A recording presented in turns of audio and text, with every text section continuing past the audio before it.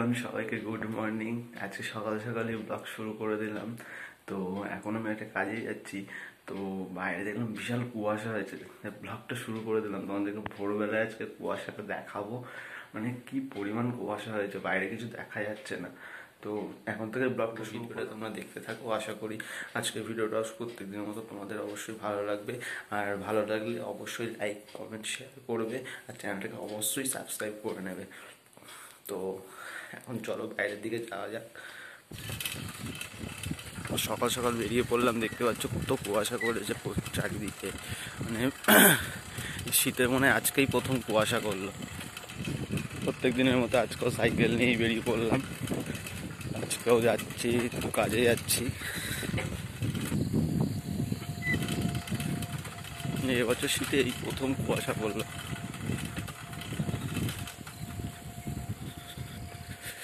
ঠান্ডাটা পড়ে গেছে, এবার আরও ঠান্ডা পড়বে।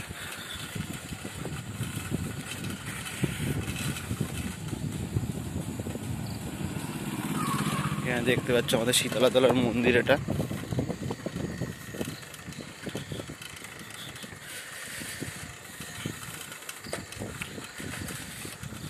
এই রাস্তা দিয়ে সোজা গেলে পড়বে টাকি রোড। তো এই টাকি রোডেই যাব, টাকি রোড দিয়ে বারাসাতের দিকে যাব।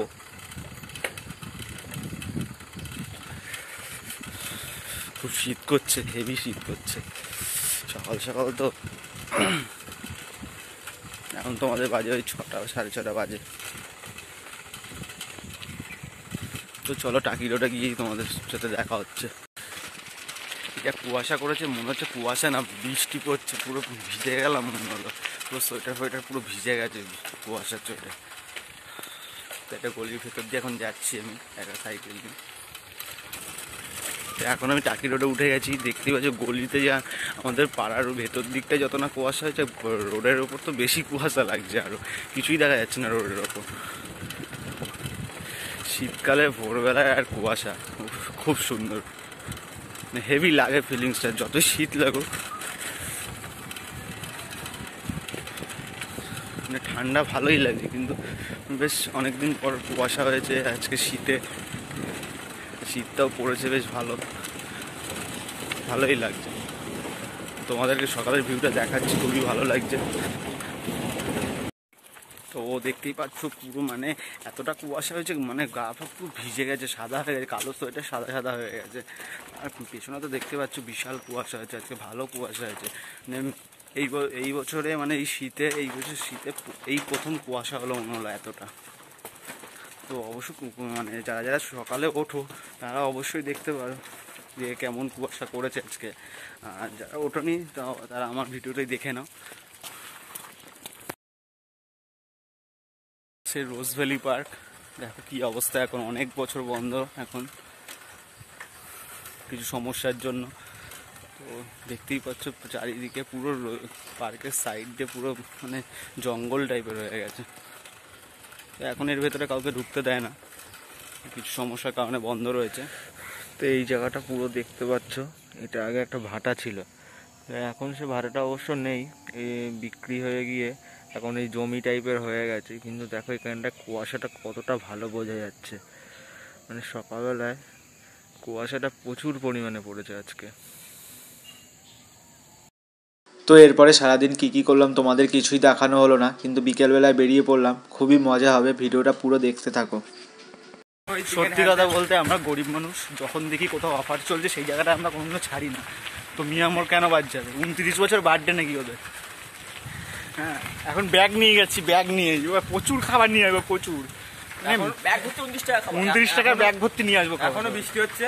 আবার বৃষ্টি চলে এসছে কোথা থেকে কে জানে? ক্যাশ তো ক্যাশ তো নিয়েছি আর বাজারে অনলাইনও আছে। যা হবে দিয়ে দেবো কার্ড কার্ড কার্ড বস্তা পাড়ায় এসে চল্লিশ টাকা পঞ্চাশ টাকা বিক্রি করব সেগুলো। চিকেন ইন্টারনেট পঁয়তাল্লিশ চিকেন ইন্টারনেট পঁয়তাল্লিশ পুরো টেবিল নিয়ে বসবা ছ্যাঁকা ছ্যাঁক আমাদের সাথে পুরো স্ক্যাম হয়েছে দেখো কিচ্ছু নেই সব ফাঁকা। কি অবস্থা আমাদের? রাস্তা ভিজে যাচ্ছে মাথা ভিজে যাচ্ছে তবুও যা যেতে হবে। উনত্রিশ টাকার? উনত্রিশ টাকা এখন আমরা উনত্রিশ টাকার আজকে খাবোই সারা বারাসাত ঘুরবো ফোন করতে হচ্ছে আমাদেরকে ওটা পরে দিচ্ছি আমরা। হ্যাঁ উনত্রিশ টাকা আছে খাব ডাক বাংলো মোট ছুটছি আগে ওরা মিয়ামোর বাদ দিয়ে মন জিনিসে ঢুকে বলছে অফার দেবে না। এখন পেছন দিকে চলে মন জিনিসটা ঢুকে বলছে অফার দেবে না। উনত্রিশ টাকার মালটা কোথায়? কিন্তু বলছি উনত্রিশ টাকার মালটা কোথায়? পুরো ফাঁকা। সব ফাঁকা। আগগুলো পড়েও আমরা কিছুই পেলাম না এখন বাড়ির দিকেই যাচ্ছি। বার্থডে ছিল আজকে। এই যে মিয়ামর। উল্টো মোড়। উল্টো উল্টো মোর আজকে হ্যাপি বার্থডে উনত্রিশতম। তাতে আমাদের কিছুই না। আমাদের কিচ্ছু দিল না গেলাম। আবার লাথি মেরে পাঠিয়ে দিল খুবই কষ্টে আছি আমরা তিনজন। আমরা তো ফোন করে গেছি। ও, যে আছে তো। প্রথমে চাপাটালিতে গেলাম। গিয়ে ভাবলাম ও অনেক লোকজন খাব। ফাঁকা। তারপরে গেলাম নাকি বডি এই ছোট সাহেব বলল যে গভর্নমেন্ট কলেজের সামনে নাকি মিয়মর আছে তো গেলাম।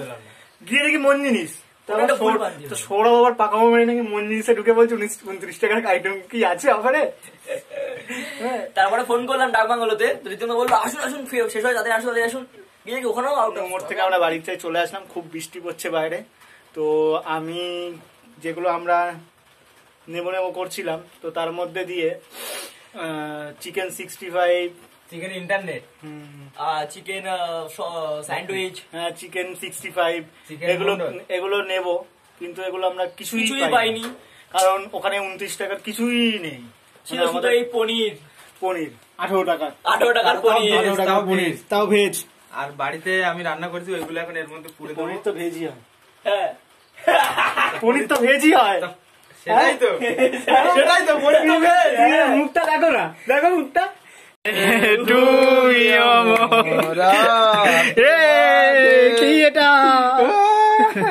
এখন আমরা চিকেন ভরছি স্যান্ডউইচের মধ্যে ভেজ স্যান্ডউইচ।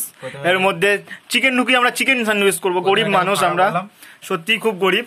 বাহ বাবা বাবা কি সুন্দর লাগছে দেখো। তারপরে ভেতরটা। ও তারপরে এখান থেকে চিকেনটা নিলাম। এ তো ভাই উম, কি আর বলব আমাদের কষ্টের কথা। কেউ যদি বুঝতো তাহলে তো আমাদের উনত্রিশ টাকার আইটেম কোথা না কোথা থেকে জোগাড় করে এনে দিত।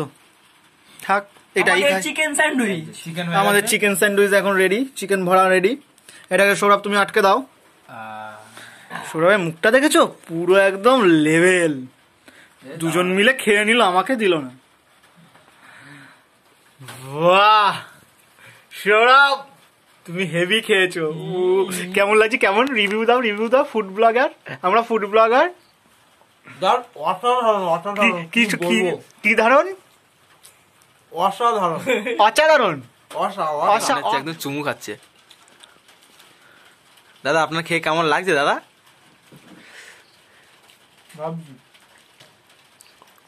এর থেকে বাড়ি বসে। সিঙ্গারা নিয়ে আসতাম ওর মধ্যে দিতাম একই লাগবে তখন আঠারো টাকা দিয়ে কেনা আমাদের লস হয়েছে। অবশ্যই। ফেরত দিয়ে আছে চলো। খুবই কষ্ট হয়ে গেছে। আর খারাপ বলে কিছু হবে? তোমরা যাই যাই বলো সাহেব কিন্তু ঠিক সাটিয়ে যাচ্ছে। সে আঠারো টাকা হোক বত্রিশ টাকা হোক। আরে খাওয়া কথা এখন সৌরভদের বাড়ি থেকে আজকে আমাদের ভিডিওটা শেষ করলাম। তো তোমাদের কেমন লাগল আমাদেরকে কমেন্ট করে অবশ্যই জানাও। আর চ্যানেলটা অবশ্যই সাবস্ক্রাইব করে নাও, ভিডিওটা লাইক করো শেয়ার করো। আর এরকমই মজাদার ভিডিও আরও দেখবে। তো দেখতে থাকো আমাদের চ্যানেলটা এখনকার মতো, টাটা।